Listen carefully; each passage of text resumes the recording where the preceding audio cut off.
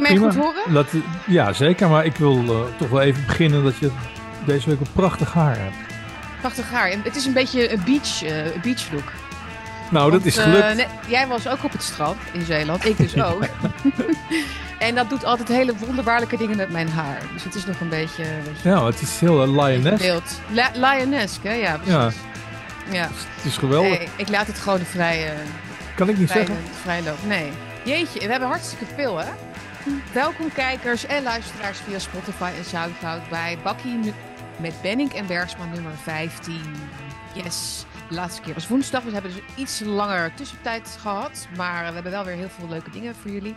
Ehm, en eh, we gaan gewoon meteen beginnen. En mijn oog viel dus net op de laatste column van Roxanne van Ieper. En daar wilde ik meteen even met jou wat over zeggen. Want we gaan het Ja. ook over andere mensen hebben. Dit gaat ook over waarom de BBB geen protestpartij is. Dat is haar nieuwste... nou, ik noem het gezever, maar oké. Ehm, Nou, die kop, die kop is best goed. Die, de kop nee, geen, oké. niks Ja, mis nee, mee. oké. Nee, klopt. Dat is misschien, eh, misschien heeft de redactie die geschreven. Het triggert wel. Nee, je wil dat graag lezen, toch? wil het wel lezen. Tuurlijk, dat, dat mag je ook hartstikke- absoluut vinden natuurlijk, waarom Ja. geen protestpartij is. Ja. Ehm, maar ehm, jij, jij snapte hem niet, geloof ik. Ja, het is natuurlijk een heel makkelijke uitvlucht, maar ze komt met een heel. Ik heb hem toevallig net even gescand, maar ze komt met een hele opsomming over, over de hele maatschappij en de economie en eh, de duivel zijn oude moer. En dan op het einde komt nog, eh, nog eens een keer van ja, en BBB, dit en dat. Maar ik, ik, ik, ik, ik, had de, ik heb de hele reasoning, begrijp ik niet, van de kop. Nee. Dus, Nee. ik, ik, ik, kan wel op, ik kan wel opnoemen waarom de BBB, BBB geen protestpartij is. Dat, Mhm. dat kan ik zo doen. Als je dat wil, dan wil ik daar best eh, tien seconden aan wijden. Namelijk, ja, eh, er is niks lekkerder dan friet. En de overheid gaat gewoon verbieden dat frietaardappels worden geoogst op het moment dat ze geoogst worden. Ja, Eh, Ja. en, en vervolgens maakt, eh, maakt Lientje zich er vanaf met een retweet van een, een van de onderknuppels. ja. Dan denk ik van, hé, hey, op dit moment worden duizenden van, jou, van de mensen die op jou gestemd hebben, worden broodeloos gemaakt. Duizenden van andere stemmers die op jou rekenen omdat ze graag friet eten, de burger, eh, worden gesloopt. Want ja, die frieten moeten nu uit, een, eh, uit België komen, zo. Frankrijk wordt dus drie, vier keer zo duur. En wat doet Mhm. Lientje? Die retweet iets. Dan denk ik van ja, dan ben je dus geen protestpartij. Maar goed, dat zegt Rosanne niet. Rosanne komt met een of ander heel complex lulverhaal. Ik heb bij Rosanne altijd het idee dat ze het over zichzelf heeft. Oh ja, oh, absoluut. Ik ben blij dat je dat meteen even zo eruit eh, gooit. Want dat is volgens mij wat er aan de hand is. Ik heb al vaker over haar geschreven in het context van haar kritiek op moederhart. En ook gewoon over überhaupt op haar kritiek op rechts en op vrouwen. En rechtse vrouwen natuurlijk met name. En waar, dat, waar wij dan volgens haar allemaal mee bezig zijn met identitair gedoe. Hè? Dat zij vindt het allemaal heel identitair. Dat wel dat Ja. dus juist niet zo is. Hè? Dus het identitaire zit vooral natuurlijk in de progressief linkse hoek. eh, waarin alles moet gaan over gay zijn en, en, en, en, en genders en zwart en wit en wat weet ik veel allemaal. Dat- politics. precies. En de rechtse hoek, het vooral gaat over economische belangen en over vrijheid en over zelfbeschikking en het belang van religie en community en het eh, belang van de boer. Hè? Dus het belang van eigen voorzieningen, waar de boer natuurlijk ook voor staat. eh, en de vissers en de tuinders. Eh, en zij maakt daar dus een, een, een, een soort van eh, spiegel van. Ze spiegelt dat in, in, een, in een hele rare. Het is, het is ook niet eens een heel literair kunstje of zo. Het is, het is, het is, het is werkelijk. Het is echt een hersenspinsel. Eh, een lui- hele luie hersenspinsel. Zij zegt. De winst van de agro-industrie wordt nu gezien als een zegen van de normale Nederlander. En dat is de ver- vervolmaking van het identitaire rookgordijn. Dus hij koppelt de boer aan de agro-industrie. Dus de, de stem van de boer is eigenlijk de stem van de agro-industrie. Maar ik snap het niet, want dat is... Nou, Ik bedoel, nou, Dat- ik, was, ik was bang dat ik me er makkelijk van afmaakte. Maar als ik jou nu weer hoor opdreunen, denk ik, ja, ik weet het nog, ik begrijp het nog steeds niet. je begrijpt nog steeds niet, hè? Ik Maar, daar, gaan we, maar daar gaan we het vandaag dus ook over hebben. Want is zij niet ook een, ehm, een symptoom, laten we het zo maar even noemen, een symptoom van dat gnostische? Ook, hè? Oh, Dus de, de, hyper, de hyperrealiteit waar wij in zitten. Eh, en dan zullen misschien mensen nu meteen denken: wat gnostisch, wat, bedoel, wat bedoelen jullie? Maar wij zijn even voor jullie gedoken in, of niet gedoken, wij zijn eigenlijk gewoon gaan kijken naar een hele interessante lezing van James Lindsay een Amerikaanse. Um, nou, hij, is, hij is trouwens natuurkundige en, en um, van, uh, van oorsprong. Maar hij heeft zich sinds een aantal jaar helemaal gestort op de woke-ideologie, het postmodernisme, uh, op die Sustainable Development Goals. Dus eigenlijk op die hele agenda, maar ook dus het, um, de ideologie erachter. En is helemaal de geschiedenis ingedoken. Helemaal Marx, uh, Hegel, alles. Uh, en komt met ontzettend interessante inzichten, vind ik. Die echt, echt een stap verder gaan. En deze lezing vond ik, ik weet niet wat jij vond, Jan. Uh, we hebben het nog niet over gehad, we hebben het er nu samen voor het eerst over. Maar deze maakt hem echt voor mij rond. This is what we must understand. We cannot stop, what do you call it, woke, communism, neo-communism, sustainable and inclusive future, whatever you want to call it. It doesn't matter. It's a great reset. We cannot stop it until we understand that it is identical to these esoteric religions from antiquity that have haunted the West all along. The way that you stop them, not practically and operationally, is that faith and reason, when they're operating correctly, box that box gnosis out. They don't let it in, they keep it out. Faith keeps reason humble so it doesn't get arrogant and think it can transform man into God man. In other words, faith keeps reason based. It also lies underneath reason. Science can be all the science it wants, but without faith that the world is comprehensible and orderly, it doesn't go anywhere. Faith grounds and humbles reason. Reason, on the other hand, keeps faith sane. Dus zo rond in die zin dat je kunt over woke heel veel zeggen, je kunt over links heel veel zeggen, over het Westen. Maar, maar dit gaat over de, eigenlijk de, um, de, de, de verklaring waarom we zowel uit de reason weg zijn als uit ons geloof weg zijn. En ook waarom die twee niet meer samen kunnen. En waarom alles een soort van bizarre hyperrealiteit is geworden. Waarin alles is omgedraaid. Het ondersteboven verhaal waar wij het heel vaak over hebben. Um, zeg ik even heel kort. Ja, het is, het, het wordt nog moeilijk voor ons om dit, om als het ware hem, hem recht ja. te doen. Want het is zo'n ontzettende goede serie colleges. Het zijn drie colleges. Um, ik heb er twee van gezien. Volgens mij is dat de derde nog niet online. Maar uh, die moeten jullie zien. En dat is eigenlijk omdat hij, um, als je professor de Smet hebt, die verklaart ons gedrag. Dus het gedrag van de mensen die um, tussen ja. slachtoffer zijn van, van de situaties die zijn ontstaan. Dus uh, hoe, hoe massa's uh, ontstaan, hoe massa's zich gedragen en wat daar de redeneringen achter zijn. Mm. Dus de, de Smet heeft daar een hele belangrijke rol in gespeeld.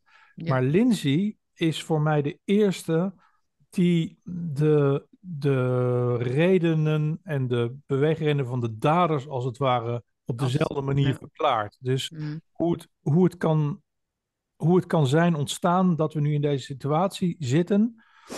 Um, ja, van de daderkant als het ware. Dus. En, en mhm. pas als je ze begrijpt, zowel je eigen gedrag als die van jouw opponent, dan kun je er iets aan doen. Want dan weet je hoe het zo ontstaan is. Ja, want het, waar jij het over het boek van de Smetten, over totalitarisme. Uh, van een jaar geleden. Dat heeft natuurlijk heel veel bekendheid gekregen, terecht. Maar inderdaad, de Smet, houdt op bij eigenlijk het punt van ja, de mensen, de massa is gehypnotiseerd. En iedereen zit in een mechanistische ideologie gevangen. Dus modeldenken en hè, dus optimaliseren eigenlijk van veiligheid en geluk en dat soort dingen. En de mens is daaruit weggeraakt eigenlijk en ook uit zijn geloof. Uh, maar de vraag is dan natuurlijk van, ja, maar wie hypnotiseert dan die massa? dus dat is de grote, ja, daar, zeg maar, dat is, dat is het eindpunt eigenlijk waar, van zijn boek, van, van Matthias de Smet, waar je dus je nog met die vraag achterblijft.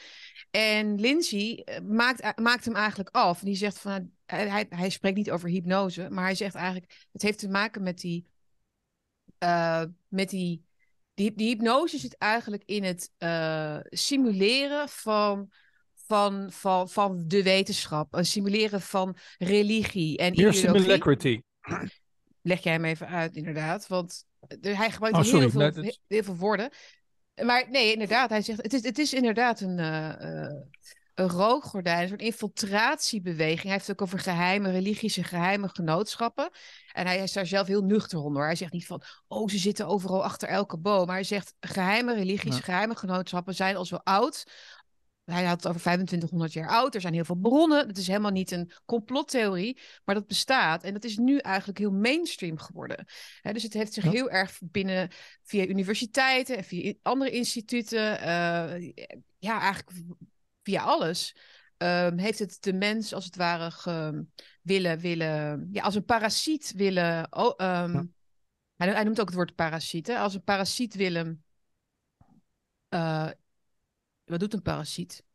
Um, kapen. Nou, de, ja, precies. Dus neemt er de, de elite van nu, dus de, de, de, de priesterklasse van nu, hmm. heeft als het ware de ruimte uh, overgenomen die het geloof uh, had. En um, um, wat, hoe noemde ik het nou net? Meer sim simulacrity. Simulacrity, uh, ja. Uh, genoemd naar het boek van C.S. Lewis, Meer Christianity. Dat is, daar is een parodie op. Mm. waarbij hij dus zegt van ja, de, de ruimte die het geloof vroeger innam, dus het geloof in God en het geloof in Jezus, het geloof in Allah en Mohammed of whatever, is ingenomen door een groep imposters, zal ik maar zeggen die claimen de, de grote wijsheid in pacht te hebben en ons te leiden naar iets beters. Alleen ze zullen nooit uitleggen wat dat betere is. Dus. Nee. En dat, gaat, en, en dat neemt als het ware die ruimte in die het geloof uh, heeft achtergelaten. Nietzsche zei van uh, God is dood.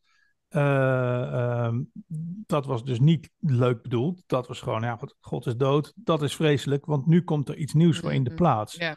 En wat daar nieuw voor in de plaats gekomen is, dat, dat hermetische, dat, uh, dat hermetische, dat gnostische. Oftewel het claim, dus hoge priesters die de wijsheid claimen, maar die wijsheid nooit uitleggen aan niet-ingewijden maar ons wel in hun verhaal meeslepen. Ja, hij zegt ook, Lindsay, het is een ingewijde, een club voor ingewijden. Net als de, hoe heet die ook weer?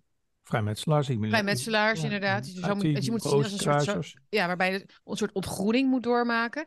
En die ontgroening, dus mensen moeten echt, hij zegt ook, je moet, je moet je een beetje, hij zegt, om dit te begrijpen moet je je eerst voorstellen dat je zelf een beetje gek bent.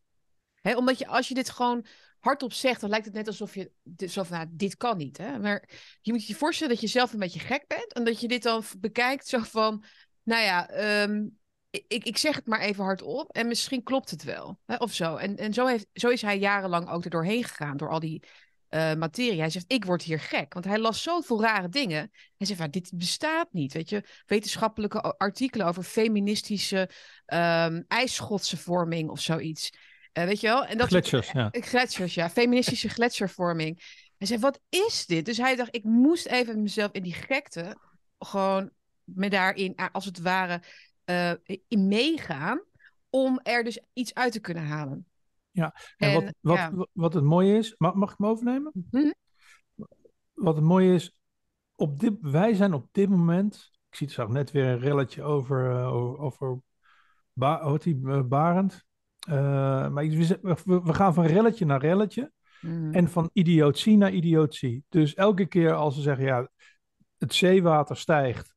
En we gaan naar het strand en dan zien we dat het zeewater niet gestegen is. Ja, het zeewater is helemaal niet gestegen. Of elke keer dat, we, dat ze zeggen, vrouwen zijn beter dan mannen. Dan, dan kijken we om ons heen en zeggen, ja, dat is niet waar. Ze zijn even, ze zijn even goed. Uh, als ze zeggen, ja, het is beter dat, dat kinderen hun geslachtsdelen uh, afsnijden en wij komen met zelfmoordcijfers aanzetten. Ja. Uh, dan komen wij met zelfmoordcijfers aanzetten. Dus zo hobbelen van, van, hun, ene, -hmm. van hun ene truc naar hun volgende truc. Ja, ja. Weet je wel? Ja. Dus wij, wij, en daardoor komen wij niet nee. bij de achterliggende gedachte waarom ze dit doen. Ja. De, dat, noemt, dat noemt Lindsay de Ouroboros. Dat je mm -hmm. dus als het ware in een soort van tover, tovenaarscirkel blijft ronddraaien. Mm. Die steeds verder gaat. Die steeds dieper gaat. En steeds krankzinniger wordt. Omdat die, die cirkel moet blijven draaien om ons in, in hun spel, in hun... Um, in uh, wizardry, ja. wizardry te houden. Ja, in de wizardry. Het is inderdaad een, een, soort toverformule die wordt uitgesproken. Waarin, waarin het lijkt op een beetje wetenschap. Waarin het lijkt op een geloofsovertuiging. Waarin het lijkt op uh, je zou kunnen zeggen westerse waarden. Hè? Dus uh, emancipatie van minderheden, wat natuurlijk heel erg speelt. Het antiracisme verhaal. Het, het, is, het, is, het, klimaat natuurlijk. Wie is, er nou, wie is er nou niet voor een fijne omgeving en, en een schoon milieu? Dus het lijkt allemaal heel veel op wat we allemaal wel, ja, wel iets mee hebben, zeg maar. Of waar we ons goed bij voelen. Maar dan komt de truc. De kunst is om dus die begrippen dus volledig te ontdoen van hun waarheid. Dus wat ze, in de wat ze echt betekenen. Dus wat racisme echt is. Namelijk onderscheid maken tussen mensen op basis van kleur. Dus onterecht onderscheid, hè, dus discrimineren. Uh, maar zij doen precies dat dus met die omroep zwart gaan we het zo ook nog even over hebben. Daar gaat het alleen maar over dat die mensen die met die kleur enzovoort. Dus uh, dat is, doen ze opzettelijk. Dus ze maken eigenlijk van de waarheid maken ze een hyperrealiteit. Waarin het doel daarvan ook nooit duidelijk wordt. Dat zei je net ook al. De waarheid helemaal niet belangrijk is. Of het werkt wat ze doen helemaal niet belangrijk is. Maar het is uiteindelijk alleen maar bedoeld om mensen uit de waarheid te krijgen. En uh, als het ware bevattelijk, of beter nog, uh, geheel onderworpen aan de hyperrealiteit, zoals hij dat noemt. Dus een ja. schijnwerkelijkheid. En volgens die gnosten is dat eigenlijk de staat waarin je moet komen als mens, dat je dus die waarheid loslaat om dichter bij God te komen. En die God is dan die mens zelf. Want dat is de kern. God is niet buiten hun, hè, want God die de waarheid in pacht heeft en waar wij en een realiteit eigenlijk creëert waar wij mee te dealen hebben, dat is niet wat zij willen. Zij vinden de, de werkelijkheid verschrikkelijk, want het is niet eerlijk en het leven is zwaar en het is, er gebeuren allemaal nare dingen. Dus zij willen die, zij willen als het ware, of niet als het ware, letterlijk gewoon die drie-eenheid gewoon omdraaien, waarin de mens dus als het als God zelf zal worden, omdat hij dus de waarheid heeft overwonnen. En dat is precies waar waar al die agenda's, hij, al die agenda's, van sustainability tot de kleinste linkse, uh, je, je, kent ze wel, die, al die woordjes. Hè? Dat, hij zegt ook, dat zijn allemaal van die toverformuletjes, van die toverspreuken, die eenmaal uitgesproken mensen verzwakt. Want ze weten niet wat het betekent. Maar ja, ik, ik ga er maar in mee. En dat is precies wat, wat, de, wat de gnosten uh, willen. Dus ja. dat, en het is, het is ook heel prachtig hoe, hoe op, op zo'n manier kreten als Trust the Science en I am the science en the science has changed. Ja, ja the science has hoe, changed. Ja. Hoe die ineens op hun plaats vallen. Oftewel, there is science, we know the science, trust us. Oh, it has changed. Now it's different. Trust us again. Mm -hmm. We'll tell you what the science is. Ja. And then we're going to do it. Dus of er nou. Daarom vind ik dat gedoe met, met, die, met die professor Jaspers, of die meneer Jaspers, uh, die Arnold Jaspers, met ja. dat boek. Dat zit een niveau, met alle respect, hè, dat zit een niveau lager, niet dan wij, maar wel dan Lindsay. Oftewel, hij zegt, ja, dat klopt niet van die stikstof. Nee, de klopt. Nee, nee, dat klopt. Nee, de, dat klopt niet. Nee. Dus je kan, je kan er een heel, je kan een heel dik boek over schrijven dat iets niet klopt. Natuurlijk kan je dat doen. Mm. Alleen, wat gebeurt er dan? Dan zit hij tegenover die, uh, tegenover die, uh, die gedroogde springhaan. Uh, volle, volle broek, ja. Gedroogde springhaan. Ja, maar dan, dan zit hij tegenover, tegenover die man. En dan gaat hij vervolgens af omdat hij fouten in zijn boek heeft staan. Mm. Waarvan ik denk, dat vind ik dan verrekt slordig, vriend. Dat je ja. die fouten maakt. Weet je wel, als je zo'n heftig... On... Dat is hetzelfde als toen met... Uh, Mm. Met die film over de, over de COVID-doden. Uh, oh ja, er zat ook fouten in. Waarom, waarom, waarom doe je nou zo stom? Je weet toch dat je. Maar goed, waar het mij om gaat is. Want ik dwaal af. Dus ik maak heel snel een einde aan ook. Ja, dus dat, de stikstof de, als aanname die ja, je dan dus, gaat de, verwerpen. Precies. Ja. Dus hij, hij maakt een punt van het feit. Van, hij maakt een punt van iets wat zonneklaar is. Stikstof is goed voor planten. Hmm. CO2 is goed voor planten. Punt. En daarmee kom ik weer op jouw punt van tien bakjes geleden. Zo belangrijk. Het enige wat helpt is nee, we gaan het anders doen. Nee mensen, we nemen dit niet aan. We gaan er ook niet over in gesprek. We gaan het anders doen. Ja. Dat is de enige mo mogelijkheid. Ja, want wat, ze, wat die gnost is... Gno, een rotwoord is dat trouwens, mag ik het even zeggen? Gnosten, ja. Gnosten, ja, doen. Um, dus die geloven in de, de God, het goddelijke en in, uh, in zichzelf. En zij, her, zij herscheppen de wereld eigenlijk naar hun beeld. Hè? Dat zijn de Rob Jettens en de Sigrid Kaagse. Zie je het gewoon, je ziet het toch gewoon ook allemaal. Ze hebben, ze hebben helemaal niks met de waarheid of met de realiteit. Maar goed, Ehm, maar hij zegt, Lindsay, van dus alleen geloof, faith heeft hij het over, en reason zijn natuurlijke barrières tegenover her hermeticism. Dan zeg ik Ja. dat? Ja. Dus, daar, dus dat is een natuurlijke buffer, een natuurlijke schild tegen dus die gekte, die waanzin, die, als, die de waarheid wil, wil kapotmaken, om daar iets nieuws voor in de plaats te stellen. Net zolang tot dat nieuwe het enige, de enige ruimte is, het enige construct is waarin mensen kunnen bestaan. En waarin ze met elkaar communiceren, waardoor ze dus zwak zijn en controleerbaar. En dat je, nou, dan heb je eigenlijk een totalitair systeem. Dat is, dat is natuurlijk uiteindelijk het doel. Ehm, hij zegt ook, faith eh, keeps re- reason-based. Je hebt reason nodig voor faith en faith voor reason. En dat is de, de, de ideale balans eigenlijk voor de mens. En die derde, die, de- zeg maar, de- het Alexandria noemt, noemt hij het van, de, van die drie. Hè? Je hebt Athene, kennis. Jeruzalem noemt hij dan het geloof, de oorsprong van het geloof. En heb je Alexandria en daar ontstond de Hermetic faith. Hè? Dus de, de zweverigheid, het esoterische, het mystieke, Ja. de magie, de astrologie. Daar, daar, daar, daar kwamen al die mensen vandaan die, die een ander soort verlossing gingen verkondigen. Die zeiden, ja, die, die, die slang in die tuin van Eden, die sprak eigenlijk de waarheid, hè? Dat was eigenlijk, daar, we, hadden, we, hebben, we kunnen kennis hebben van goed en kwaad, maar dat, dat moeten we dan wel pakken. Ja. We, moeten ons, we moeten ons tegen God verzetten. Dus dat is ontstaan. En de, ons geloof in, en dat kan dus ook in Allah zijn, of in Go- eh, onze God, of, eh, of, of, of je bent Joods, of wat dan ook. Maar je moet dat geloof hebben en je moet de, de reden, de reason, dus ook blijven toepassen tegenover deze mensen. Ja. Ehm, maar je moet nog wel, hij zegt, je moet ook wel verder gaan. Want nu begrijpen wij ook beter waarom bijvoorbeeld waarom ze zo hypocriet zijn. Hè? Waarom ze zelf vliegen terwijl wij niet mogen vliegen. Waarom, snap je? Dus eh, omdat, het, omdat het ze niet uitmaakt dat wij, de mensen die nog niet in hun religie zitten, hè? wij zijn nog niet ontwaakt in hun ideale, utopische doel, hè, doelen die ze hebben gesteld. Ehm, zij gaan naar een hogere waarheid en wij nog niet. Dus natuurlijk mogen ze ons regels opleggen. En wij roepen maar, oh, dat is allemaal hypocriet. Dus als je Lindsay luistert, en dan laat ik jou weer even wat zeggen over, sorry. Maar ik heb, ik heb namelijk drie keer, ik heb hem drie, misschien wel vier keer, heb ik hem eh, helemaal ge- geluisterd. Dus ik ben er erg vol van, omdat het echt, echt weer heel veel puzzelstukjes legt in het hele complexe verhaal over waar we nu in zitten. Ehm, dan ben ik mijn draadje kwijt. Hij, Uh, Kijk, die hypocrisie, maar ook dus dat je begrijpt waarom dingen gebeuren. Dus waarom het zo ondersteboven is.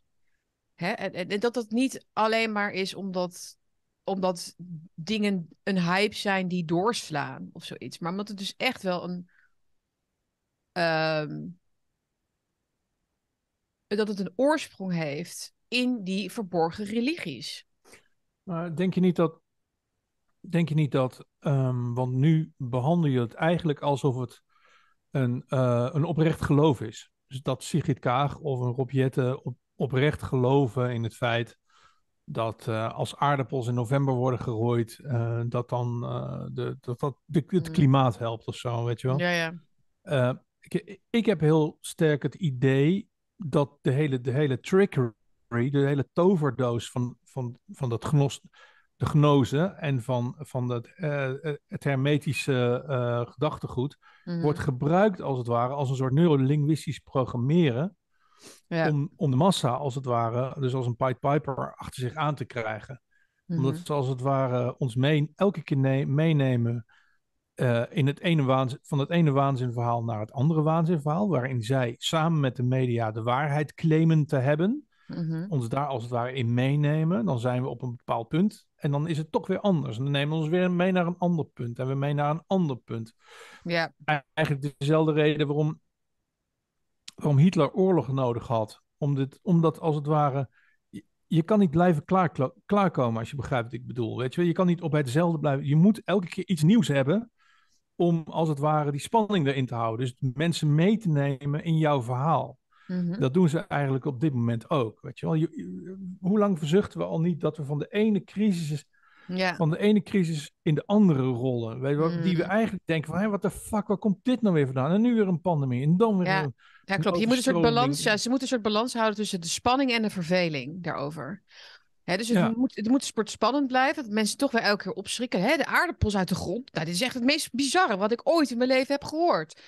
En dan vergeten ze dat, dat, Ja. dat ze dat een maand geleden ook al over iets zeiden. Dat, ze, dat het meest bizarre was wat ze ooit hadden gehoord. Maar dan vergeten ze dat weer. En dan, hè, want dan zit er ook weer verveling en gewenning in, inderdaad. Dat is volgens mij wat jij bedoelt, dat is dat programmeren. Maar dat is toch waar, waar hebben ze dat talent dan ontwikkeld, vraag ik me af. Want er is natuurlijk niet een opleiding, zeg maar, een LOE-cursus, hoe je, mensen, hoe je mensen die woke eh, onzin in kan drijven en hun hele kosmos en hun hele ehm, waarheid, eh, zeg maar, kan, kan afpakken. Dat, of, ja, is, dat, dat niet, is, dat niet, is dat niet heel erg naïef? Ik, ben koorlid ja, eh, geweest. Ik ben nu reunist. Mijn, eh, mijn zoon is nu koorlid. Harden bravo, Mm. hartstikke goed. Ehm, ehm, gaat in de lustricommissie, heel trots op. Maar als je alleen al ziet, nu is het wat minder, hè? Nu, is het wat min, nu, nu is het wat meer vrijblijvend dan vroeger. Ja, Maar als je ziet wat een soort van, hoe groot die zwijgplicht was en hoe, hoe je werd geïnstrueerd om de mensen die je, waarbij je de groentijd moest afnemen, ja, ehm, hoe je met allerlei rituelen die mensen binnen jouw clubje krijgt, zodanig dat ze er nooit meer uitgaan. ja Dat nee, dat, is- dat, dat snap ik. Dat is binnen, binnen het koor al. Dat, heb je, dat zie, Mm. zag je bij, bij David. Nou, nou, ik vind David Koresh wel een mooie kerel.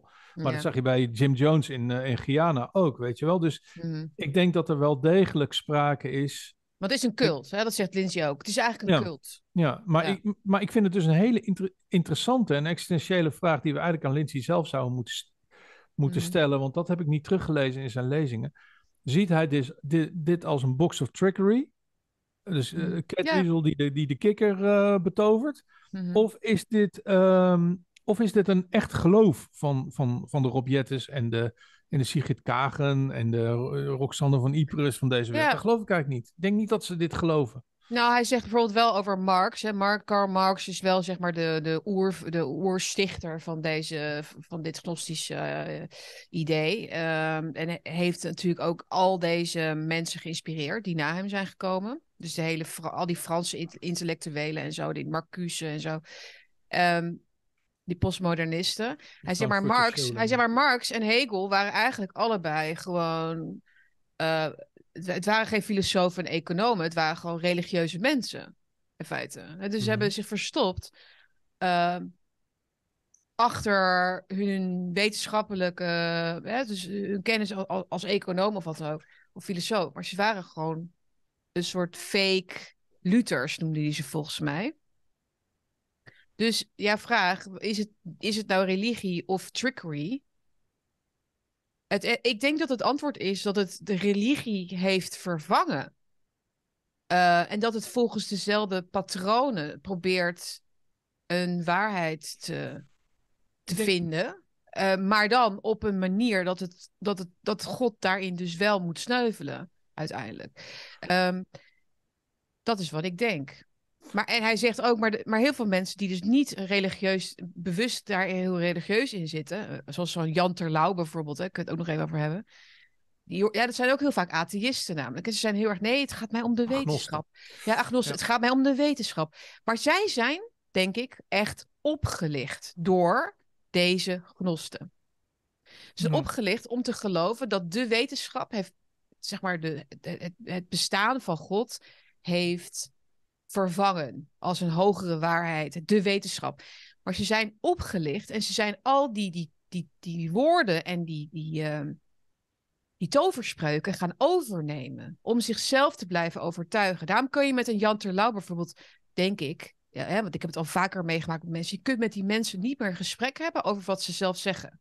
Nee. Want hij zegt bijvoorbeeld, Jan Terlouw, dat was een interview die we allebei, dat, wat wij allebei hebben gelezen, die zegt dan, er zijn mensen die de wetenschap ontkennen. Weet je wel, dan denk ik, welke mensen ontkennen de wetenschap? Dit, dit, is dus, dit is die taal die jij hebt overgenomen. Jij maakt van de wetenschap een religie, maar alleen in een verwijt naar iemand anders. Precies. Mag ik daarop inhaken? Want ik denk dat ik er een klein beetje misschien wel niet uit ben, maar zou het niet gewoon zijn? Kijk, in, in het christendom staat staat nederigheid uh, en staat voorop, weet je wel. Je bent niks meer dan een ander. We zijn allemaal Mhm. gelijk onder God. En, uh, en uh, excellentie wordt wel beloond. Dus grote strijdheer en zo, dat is helemaal top. Maar het is niet zo van um, dat de priesterklasse, dus de, de, de, de, de, het Caiaphas en zo, dat die op een hoger plan staan dan de gewone burger. Dus de, uh, maar is het niet zo dat, dat, hele, met dat binnen die hele gnoze gewoon als het ware de priesterklasse, dus de, de, de, de Sigrid Kaars en de Mark Ruttes en dat soort lui, die, die, die zien zichzelf als onderdeel van de priesterklasse en dus onderdeel van, waar, ja, wat, wat je eigenlijk met een boerswoord de elite noemt, Ja. maar die dus niet um, uh, ja, vallen binnen hun eigen criteria, omdat zij nu eenmaal de priesterklasse zijn. Jazeker. En, en ja. de, rest, de rest dus niet. Kijk, wij, misschien dat ze daarom ook nog wel een klein beetje respect hebben voor mensen die een grote bek tegen ze hebben. Want, maar gewoon het, het, het voetvolk, dus de mensen die gewoon maar doen en gewoon maar voortconsumeren en voortschijten en voortkotsen en voortsterven en whatever. Daar hebben ze gewoon een enorme minachting voor, omdat het niet valt binnen een klasse waar zij van hun geloof iets van mededogen mee mogen hebben. Of zo. Ja, moeilijk hoor. Nee, maar dit zit. Oh, maar dit. dit, dit, dit um, deze analyse van Lindsay roept zoveel nieuwe vragen ook weer op, maar ook um, verklaart voor mij vooral veel meer nu. Ik, Ja. Het heeft voor mij, voor mij heel veel meer verduidelijkt, omdat het, het verhaal is altijd heel erg van. Uh, hè, we zitten in een totalitair systeem, of we gaan op weg naar een totalitair systeem. Oké, okay, dat is een verklaring, die kun je dan. Hè, waarom dat zo is, kun je vinden bij, bij Hannah Arendt, of dat kun je vinden bij Matthias de Smet. Maar ja, we hebben ook te maken met dit, we hebben ook te maken met dat.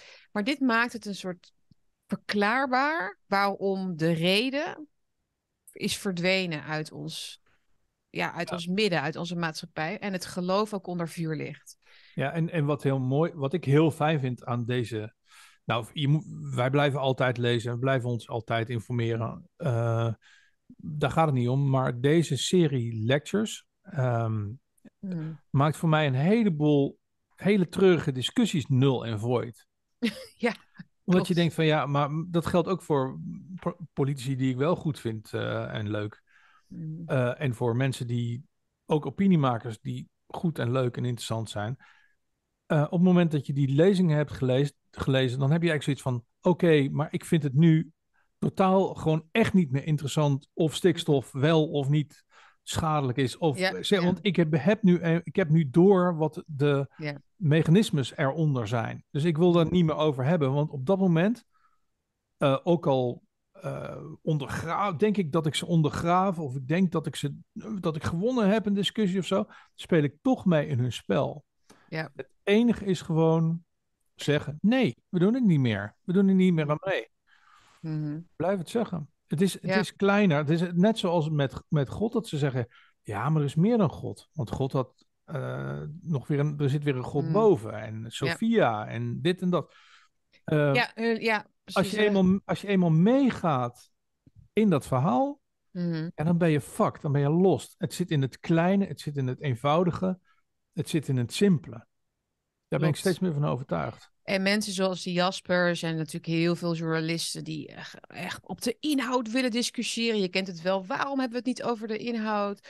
En denk ik, ja, jij wil deze discussie winnen. Dus discussie X, Y of Z. Hè? Van, Ja. ik heb hier feiten en dit zijn jouw feiten en ik heb hier gelijk. Waarom? Ja. En deze mensen gaan er gewoon volledig overheen. Hoe kan dat toch zo zijn?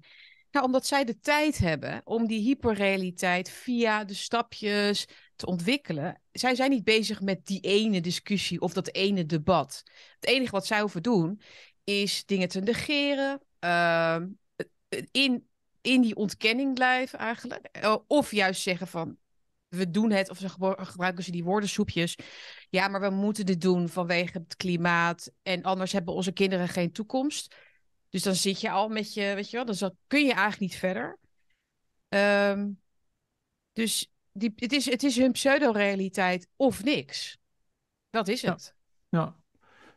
precies. En het gaat ook altijd over die toekomst. Oftewel, Ja. het is ook nooit in het heden, weet je wel. Kijk, over, over 17 jaar, dan zijn die kinderen die nu al die sex change operaties ondergaan, Mm. ja, die zijn dan doodongelukkig. Uh, maar ze hebben dan tien jaar lang hebben ze gezegd, ja, dat moeten we doen voor die kinderen, anders worden ze doodongelukkig. Vervolgens zijn ze doodongelukkig en kijkt niemand meer naar ze om. Hebben ze weer iets nieuws bedacht. Mm. Dan is het weer van, ja, over tien jaar valt de maan. eh, Ja. als we, wij, wij hebben uitgerekend dat over tien jaar de maan op de aarde valt. We moeten echt nu het water uit de zee gaan halen. Anders dan gaat, gaat die maan in de, in de zee vallen. Ja. En moet je kijken Ja. wat er dan gebeurt. Dus, eh, en dan gebeurt dat niet. En dan zeggen ze, ja, het is niet gebeurd. Nee, dat zeggen ze trouwens Mhm. niet. Dan negeren ze dat weer. En dan zeggen ze, over, over, over 20 jaar komen er ehm 100 miljard wormen uit de grond. Ja, dat zijn reuzenwormen. En eh, daar moeten we iets tegen doen. Dus laten we, laten we overal parapluutjes in de grond zetten. Zodat die wormen denken dat ze nog... Ja, maar ik bedoel... Nee, je kunt het, zo gek, het maakt niet uit hoe gek het is. Het, kan, het, het, is, het is waar. Het, het gebeurt nu al voor onze ogen. Het is de reden waarom een weerman bijvoorbeeld kan zeggen in dezelfde zin dat het kouder is geworden gemiddeld, maar tegelijkertijd eigenlijk warmer is geworden. Omdat, dus dat, dan zie ik een weerman, mensen als, eh, hoe heet die hele bekende, die, die, lekker, die lekker rijk is geworden. Ehm die. Hiemstra. Hiemstra. Die, die is Gerrit volgens mij, dat is natuurlijk ook, je ziet het ook vaak met, bij mannen, ook vrouwen trouwens, maar die ook zo'n Beatrice de, de Graaf van Leur. Beatrice de Graaf, ook heel christelijk, weet je wel. Ook helemaal gehersenspoeld door, die, door dat gnostische. Je ziet het ook aan hun ogen, je ziet het aan hun dode, soort van dode blik of zo. Ja, sorry, maar ik, ik, Beatrice was vroeger, Beatrice zeg je geloof ik, gewoon een best wel frisse, fris meisje. Maar die is nu echt een soort helemaal in die taal gaan spreken.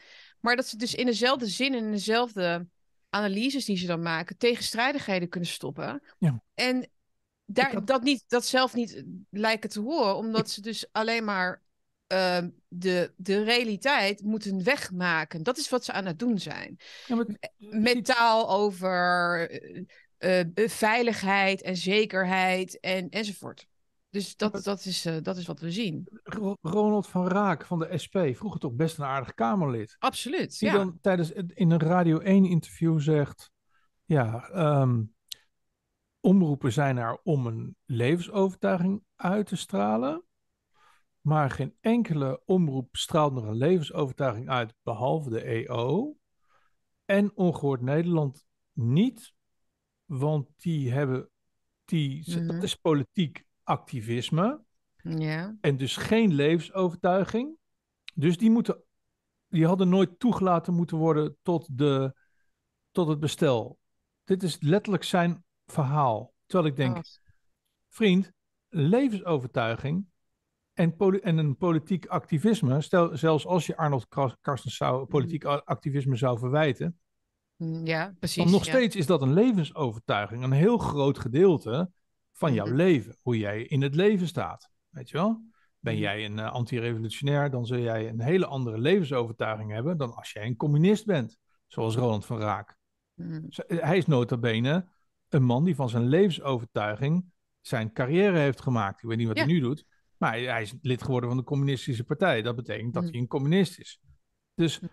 dus hij, hij, als het ware zegt hij, ja, ehm, eh, Arnold Karskens heeft, heeft een levensovertuiging die ik afkeur, dus noem ik het een noem ik het politiek activisme. En daarom hadden ze hem Dus- niet toe moeten laten. Dus mensen die niet de wijsheid in pacht hebben, die niet de grotere werkelijkheid kennen, mhm. komen met informatie die storend is voor de grotere werkelijkheid. Wat die grotere wer- werkelijkheid en waar is, waarheid is, zullen ze ons nooit vertellen. Maar, Weten ze zelf ook niet. maar het is informatie die daar eh, mee conflicteert. En op dat moment is het in hun ogen desinformatie. Ja, zoals Lindsay ook zegt. Het enige Ja. wat ze weten is dat niet. Ja, dat wat dat jullie niet. doen, dat willen Ja. wij niet. Dus niet. systemic racism, dat niet. Ja, maar hoe willen jullie dan wel de wereld vormgeven? Ja, dat weten we wel niet, maar dat niet. Oh, ehm, oké, jullie willen de, de, alles volbouwen met windturbines. Ehm, maar waar, hoe, waar eindigt dat dan? Dat weten we niet, maar we willen dit niet. Dus dat is inderdaad, het, het is echt een, een exodus uit de waarheid. En voor de rest weten ze niks. Nee, Fascinerend. precies. Maar dat is, dat, dat is volgens mij ook waar je het wat, wat aardsere desinformatie en misinformatie in kan inbedden. Dus namelijk, dit past niet in ons plan. Wij, onze hoogpriestersplan, daar past dit niet in. Dus is het desinformatie en misinformatie. Waarbij ze ook nog eventjes uh, een vrij Roland Freisler-achtige aanpak kiezen. Van ja, er is ook informatie die je deelt, waarvan wij voor jou gaan beslissen dat je dit bewust, uh, dat je dit opzettelijk verkeerd hebt gedaan. Weet je wel? Ik heb ook wel eens een tweet, uh, dat, die ja. retweet, die blijkt dan vijf jaar oud te zijn of totale bullshit. Uh, maar dat doe, ik niet, dat doe ik niet bewust, omdat ik een slecht mens ben. Wel een slecht mens, maar ik bedoel, dus, dat, ja, je maakt wel eens een vergissing, weet je wel? Mm -hmm. Zoals, om dan weer terug te komen op die Arnold Jaspers, ja. Die maakt fouten in zijn boek. Vind ik best een dingetje. Maar hij zal het zeker niet expres gedaan hebben. Sterker nog, hij zat gewoon daar te stamelen bij uh, WNL. Mm. Uh, hij, maar ja, die man ja. maakt gewoon een fout. En alleen ja. zullen die fouten, ja, die zullen ze maximaal uitbuiten. Ja. Weet je wel? Dus, ja. uh, nee, dus, dit, maar goed, dit, dus als je volle broek wijst op de details van zijn, uh, de manier waarop hij rechtszaken voert tegen iedereen hè, die uh, de overheid dwars zit in zijn ogen. Want hij werkt gewoon voor de overheid volle broek. Hij is gewoon een. Het is ook zo grappig dat zijn club heet Mop. Het is gewoon maffia. Ik denk dat volle broek ook een grap is. Ik bedoel, het is, Ja. het is één groot. Ook het uiterlijk van iemand. Het is gewoon om, om ons maximaal in de zijk te nemen. Mhm. Het is Mhm. allemaal maximaal om ons in de zijk te nemen.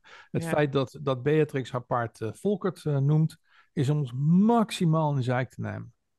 Ik kan dit doen, mensen. Mhm. Ik kan dit doen. Ik doe dit gewoon. Dan zullen we Lindsay even achter ons laten. We gaan Ja, iedereen we dus wel echt, echt aanraden om daar naar te gaan kijken. Ja. We hadden nog, ehm, even kijken. Wat we nog meer? Eh, we zouden het misschien nog even kunnen hebben over de NRC-serie, ehm, de, de artikelen van het NRC. Misschien Mhm. James Dellingpole, die toevallig eh, deze week Oh ja. ook met precies hetzelfde kwam. Mhm. Namelijk de, de limited hangout die op dit moment met COVID aan de gang is. Ja. Over de, de artikelen die in het NRC hebben gestaan vorige week.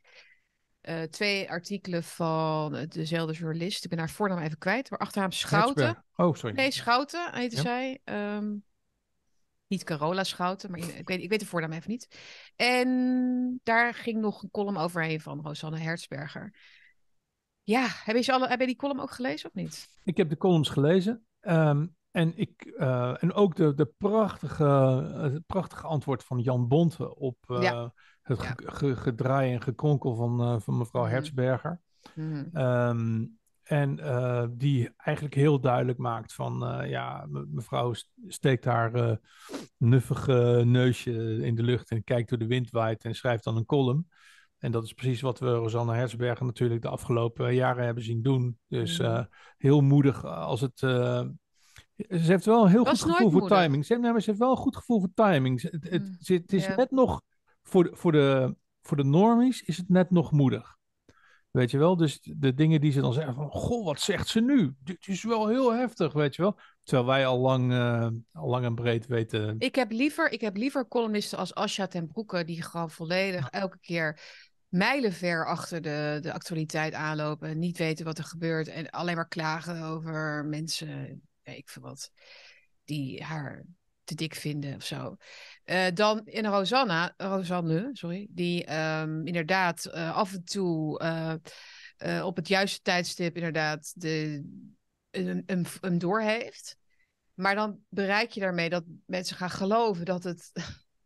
Dat daar dus inderdaad bij, de, bij het NRC, eh, bij de andere kant, eh, een, een, een, een voortschrijdend inzicht bestaat. En dat zeggen ze ook altijd over zichzelf. Jij, wat is er mis met voortschrijdend inzicht? Ehm, maar als zij tempo bepalen waarin de bladzijde mag worden omgeslagen, waarin er inderdaad ineens inzicht is, terwijl er dus al tientallen mensen waren die dat inzicht eerder hadden, dan vind ik dat gevaarlijk, omdat je, het, eh, omdat je de, de, de samenleving ook in een, traag, in een vertraging zet. Ja, en daar, Eh, daar- Van, oh, heeft, heeft Rosanne het al gezegd? Nee, dan, dan, dan zal het nog wel niet zo zijn. Ja. En daar kan ze natuurlijk mee spelen. Ja, maar het is, het is wat dat betreft voor mij heel, in een heel mooi perspectief gezet. En ik weet even de naam van zijn gast niet, maar het is de, de James Delling poll van, eh, van 30 april, eh, Koninginnedag. Ehm, eh, Ja. Die mij veel... ja, ik, mag ik even zeggen wie dat was? Dat was inderdaad... ehm, eh, Hij heeft een Twitter-account Slow Thinking of zoiets. Of Thinking Slow, sorry. En die, die man heeft dus, doet prachtig uit de doeken waarom ineens dit soort uh, uh, opinie-offensieven loskomen. Dat is namelijk om mensen de kans te geven om te zeggen: Goh, dat wisten we niet. Mhm. Oh, wauw, nu is het nieuws. Nu, nu ineens begrijpen we het, want het NRC zegt het. Dus al die, ehm, al die fantastische WOP-onderzoeken die door, ehm, die door Kees- Daniel van der Tuin. Daniel en- van der Tuin en zo gedaan zijn. De en NRC Kees, ja. negeert die totaal twee jaar. Mhm. Dan ineens komen ze met, oh, nu hebben we de waarheid. En dan kunnen alle mensen, zoals een Keulemans en, en Koopmans en al dat, al, dat, al dat andere griebes, die kunnen dan zeggen van, oh, wauw, we hebben een nieuw inzicht. Ja. Oh, maar dit wisten we niet. We hebben het niet gewoest, weet je wel? Ja. Oh, zijn er echt doden gevallen? Oh, nog, dat wisten we echt niet. Wat is dit nou, joh? Wat gekmakend is voor, voor mensen zoals ons, zoals wij. Want ja, wij weten dit al 2,5 jaar. I think that what what you're describing this process whereby the mainstream is now uh, waking up supposedly to stuff that we knew a long time ago is called the controlled release, isn't it, of information? Exactly. You call it, I guess, limited hangout, controlled release. I guess for many, they just went along with the with the with the flow. So they just need this to be released now and pretend it's a shock piece of news to justify what they've done and try and excuse themselves. Um, but in terms of the guys who actually decide when when to release what or when it becomes news, I mean, that's more difficult. Obviously, beyond you know autumn or let's say December 2021, a lot of this information is kind of now only theoretical interest because they've pushed this thing and everyone took dose one and dose two. So releasing, you know, after December 21 is is the the horse is bolted. So for them, it doesn't really matter anymore. They're still holding back, you know, a couple of limited hangout issues that they still don't want disclosed. So you can talk about myocarditis, uh, you know, you can talk about something else, but you can't talk about the sperm count. Dus hij zegt ook van ja, dit is ook, dit is controlled opposition. En dit is gewoon om mensen de kans te geven om te zeggen, oh wauw, ik ben verrast. Ik ben helemaal verrast. Ik wist niet dat het kwa- slecht was, dat prikje. Ik wist niet dat het kwalijk was, al die maatregelen. Maar nu weet ik het wel. Gelukkig, dan, dan zullen we het niet meer doen. Ja. Dus het is, het, is, het is kwalijker dan je denkt, dat hele NRC-gedoe. Oh ja, zeker. het- Ja, maar ik beschreef het in mijn column in de andere krant als het buitenhangen van, van de vuile was. Hè? Want je hangt dus de vuile was even buiten. Maar wel zo dat de, de lakens wapperen, zodat je niet kunt zien wat erachter nog gewoon Mhm. doorspeelt. Eh, want je krijgt maar een deel te zien. Eh, en niet alleen een deel van de waarheid. De oerleugens erachter worden juist weer bevestigd en bekrachtigd. Bijvoorbeeld dat er een crisis was en dat er desinformatie is en dat dat bestreden moet worden. Het hele onderzoeksartikel in NRC ging alleen maar over, goh, wie heeft welk aandeel gehad eigenlijk in het vormen van die denktank en wie zaten daar dan in? Eh, en wat, wat, welk doel hebben zij gekregen? En, het was, en, onderaan, de, onderaan de streep was het, is het dan toch, is, het, is de conclusie dan toch van, ja, eh, er was desinformatie. ehm, en er waren wetenschappers en artsen die hun boekje te buiten gingen. Nou, dat is dus gewoon niet waar.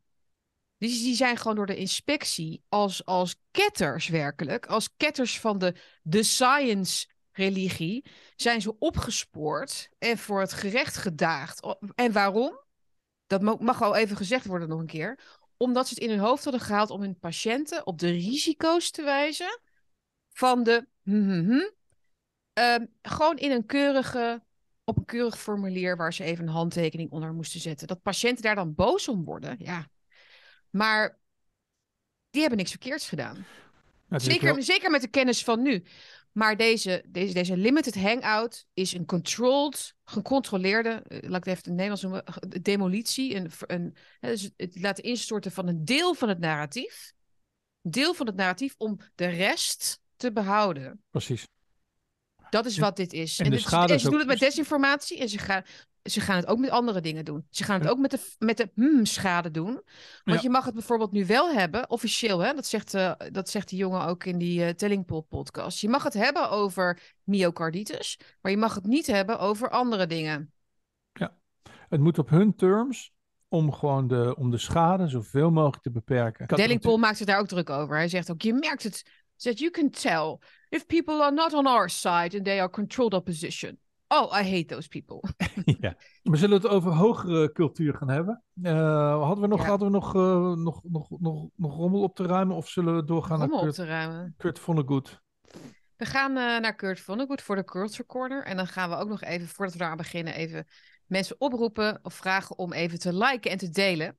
Ehm, want je zit misschien al een uurtje gefascineerd te luisteren, maar dan kun je net zo goed even hem aanklikken. eh, op eh, abonneren. Je kunt ook het belletje links aanklikken. Dan krijg je een notificatie als we online zijn via YouTube en via Rumble dus ook. En Spotify en Soundcloud. Dus eh, dank daarvoor. Dus deel ook deze uitzendingen. En je kunt hieronder ook een donatie doen via Why Donate of een petje afdoen. En dat is extra leuk, want dan kun je een bakkie buddy worden of een bakkie baas of een bakkie beest.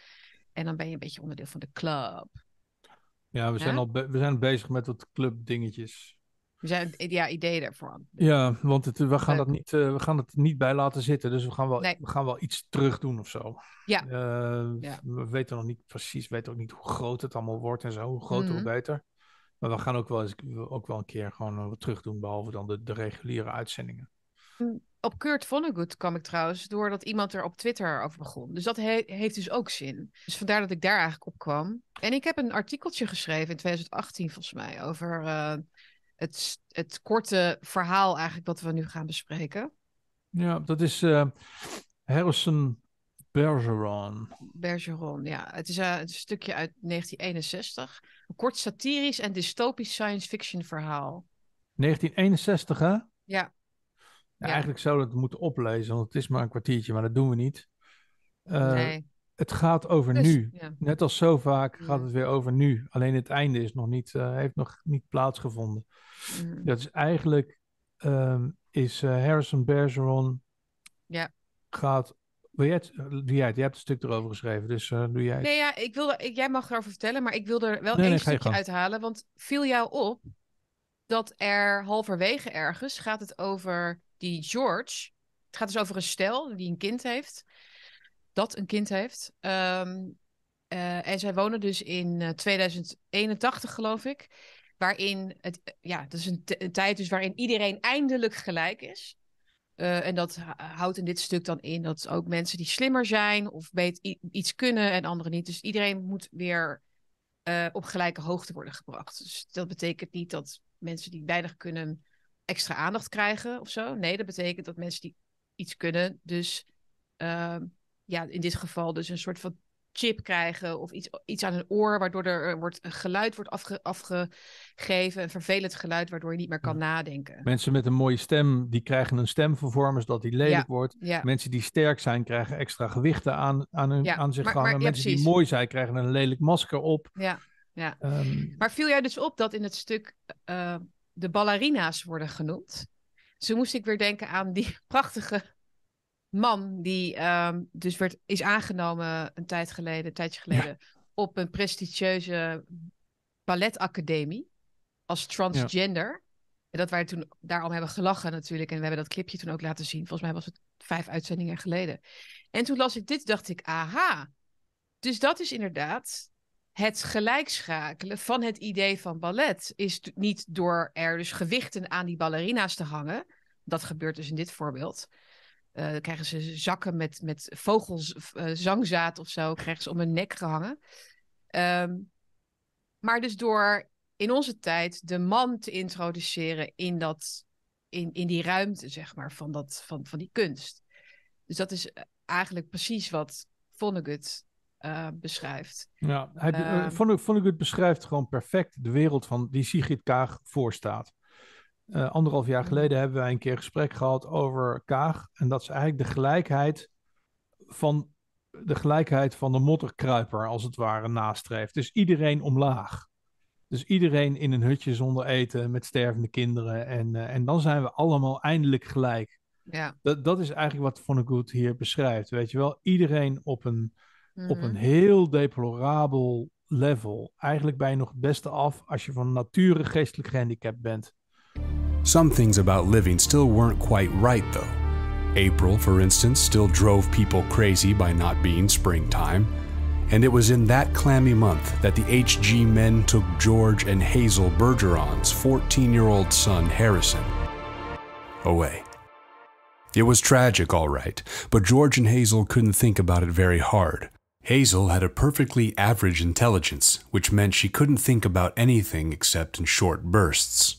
And George, while his intelligence was way above normal, had a little mental handicap radio in his ear. He was required by law to wear it at all times. It was tuned to a government transmitter. Every 20 seconds or so, the transmitter would send out some sharp noise to keep people like George from taking unfair advantage of their brains. Maar hoe zit het eigenlijk met, uh, met Omroep Zwart? En we hebben eigenlijk eens eventjes gewoon een beetje rondgekeken. Wat, wat doet Omroep Zwart? En uh, het jaar, jaarverslag uh, doorgespit. Ehm, maar eigenlijk, ik kan, niks, ik kan gewoon helemaal niks vinden. En, en, en ik, ik las alleen ja. in hun, op hun website las ik dat op het moment dat je alle kleuren mengt, dat je dan zwart krijgt. Mm. Maar dat is dus, dan krijg je wit, hè? Dus uh, als je alle kleuren mengt, krijg je wit. Maar dan moet je wit licht is gemaakt van alle kleuren, niet zwart. Zwart is het ontbreken van kleur. Oh. Quasi. Zwart is het ontbreken van kleur. Wit is de combinatie van alle kleuren. Dus corrigeer je web website even. Wat mij verder opviel aan zwart, behalve hun enorme onzichtbaarheid, want ik heb echt mijn best gedaan om iets te vinden, ja, wat, wat, wat, wat, uh, ja, wat langer, is, langer duurt dan 10 seconden en uh, minder dan een jaar oud is. Mm. Um, maar is hun, de naam van hun, een van hun programma's is ongezien. En dan denk ik, ongehoord, ongezien. Wauw. Wat een goed idee. Ik heb die naam ooit bedacht, hè? ongehoord. Ja, ongehoord dat heb je Nederland. Ja. Dus, dat mag uh, wel eens gezegd. Dat mag wel eens gezegd worden. Nooit voor betaald. Maar uh, het was een liefdewerk. Maar uh, ik heb ongehoord Nederland bedacht qua naam. Maar zij hebben dus een programma dat heet Ongezien. En wat dan een enorme goede grap is, dat als je gaat zoeken, er is ook niks te zien. Dus je, je komt dan en bij je een klikt serie... door, je klikt maar door. Je, kijk hier voor de laatste aflevering. Klik. Dan Klik, kom je op een. niks. En dan krijg je een foto, een stil van Ja. dat programma of die aflevering. En zonder Nee, dat is het. En Dat het is het, want het ik ook heb op op YouTube, YouTube- niet te vinden. Ik heb op YouTube gekeken en dan krijg je een filmpje van 10 seconden. Ja, trailer of zo, geloof ik. Nee, dat is het dan volgens mij. Want ik kan het Oh. ook echt niet terugvinden. Maar dus volgens mij is het de bedoeling van het programma dat, je het, dat het ook ongezien blijft. Dus. Oh, dat is een mooie truc, zeg. Het is eigenlijk dat boom in het bos wat valt, waar niemand bij is. Is, het, is, dat, is die Terwijl- boom wel gevallen, zeg terwijl- maar. Dat is, dat Terwijl het, is dit terwijl- programma ooit wel gemaakt? maar het is zo vreselijk zonde, want het concept is te gek. Ja. Ongezien. Ongeziene kunst, ongeziene literatuur. eh, Hm. en, en van mijn part doen ze dan alleen maar zwarte. Dat boeit me niet. Eh, maar doe dan inderdaad iets ongeziens. Doe dan een mooi gedicht van, van eh, hoe heet die, Airfryer of van, van, van Aquasi. Of, van, of doe wel dan een mooie tekst van, van, van, van Claudia Wekker. Of, of weet dat mensen... Gloria Wekker. Gloria Wekker, Eh, ja. De, of zo, doe iets wat ongezien en ongehoord is, weet je wel. Maar vervolgens gebeurt er gewoon niks. Het enige wat ik terugzie van, Mm. van, van, on- van zwart is eh, ja, een soort van feestelijke bijeenkomsten. Mhm. Waarbij ze om de beurt een beetje gaan hey op een podium of zo. Dat is dan, en dat is dan meestal nog anderhalf jaar oud. En dat is dan toch wel, weet je, niemand heeft het over de omroep zwart. Nee, het is met heel Ja. veel tamtam is het eh, toen in het bestel gekomen. Want dat was dan toch wel een... eh, ja, iedereen sloeg een beetje aan op die naam natuurlijk. En dat was, oh, dan krijgen we weer dat woke en zo. Maar ja, ik bedoel... ehm, Ja, ze- ze- het had, het, je, je kunt er iets van maken, toch? Lijkt mij. Nou ja, je Ehm, krijgt een, een, de, de directie krijgt eh, anderhalve ton Daar wou net uitbetaald zeggen. per persoon. Ja, per persoon. En- een exclusief bonus nog. en, en vervolgens staat er in hun, staat er in hun, eh, in hun jaarverslag staat dit. ehm, eh, nieuwe manieren van werken. Met het geleerde uit de coronaperiode kijken we naar onze manier van werken. We streven naar een manier die past bij onze organisatie, processen en onze mensen. Wauw, heel goed. Een manier van werken waarin mensen weer veilig in ons pand kunnen werken en ervoor kunnen kiezen om thuis te werken. Oké, we noemen dit het hybride werken. Veel werkzaamheden blijken we overal te kunnen doen. Thuis, onderweg, op kantoor en in een online werkomgeving. Om dit voor Omroep Zwart medewerkers mogelijk te maken, is een budget beschikbaar gesteld waarmee de thuiswerkplek ingericht kan worden voor structureel gebruik. Ehm, maar lang niet alles kan van huis, veel activiteiten, bla bla. Nou, ik, ik heb dus bij een omroep meegekeken, want ik heb niet alleen de naam Ongehoord Nederland bedacht, maar ik heb ook meegekeken bij Poont. Toen het nog echt een omroep was, in plaats van eh, de zoveelste propagandaafdeling van Den Haag. Maar eh, één ding kan ik je wel vertellen: het, het, het, het runnen van een omroep, en zeker een aspirant-omroep, Mhm. dat is, nou, als je, als je overspannen wil raken, dan moet je dat doen. Dan ben je alleen maar aan het rennen en aan het vliegen. Dan ben je iedere dag zit je bij elkaar. Dan zit je elkaar Ja. de koppen in te slaan.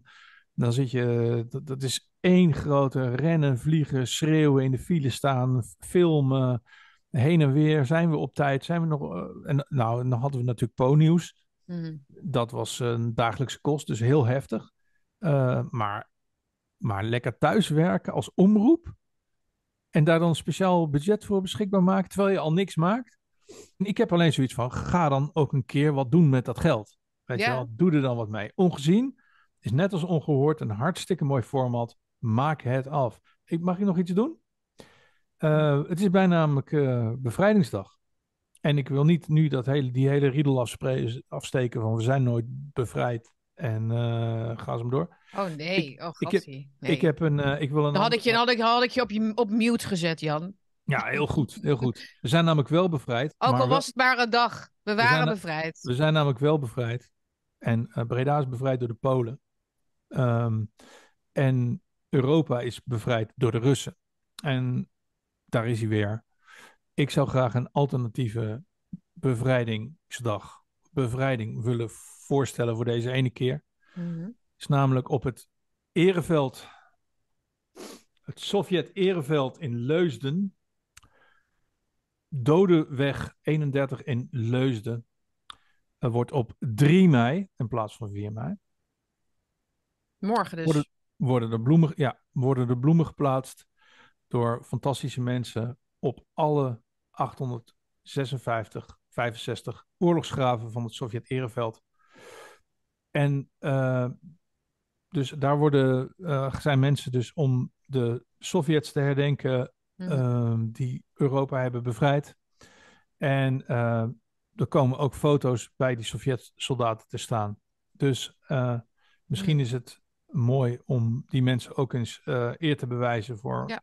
Wat, ze, wat ze hebben gedaan. Want we hebben onze zeer gelimiteerde vrijheid eh, op dit moment eh, wel aan hen te danken. Ja, het hoeft, en het hoeft ook niet of-of te zijn. Hè? Ik bedoel, je kunt natuurlijk daar eh, de aandacht aan geven. En ook aan andere slachtoffers en helden eh, de, komen, komende dagen. Dus jij, doet, jij zegt alternatief. Maar ik vind het een hele mooie aanvulling, inderdaad. Ook. Nou, laat inderdaad een aanvulling zijn in plaats Ja. van een alternatief. Ja. Ik ben uitgeluld, Siets. ja, ik ook. Helemaal uitgeluld. Joehoe! Ga vergeet niet om een donatie te doen. Dat kan hieronder via Why Donate of via Petje Af. Daar zijn we ook hartstikke blij mee. Dan kun je vanaf 5 euro bakkie buddy worden. Of een bakkie baas of een bakkie beest. En dat, eh, dat steunt ons heel erg in eh, het verder ontwikkelen van deze uitzendingen. Inhoud te maken voor jullie. eh, en de moed hoog te houden. En ook hopelijk die van jullie.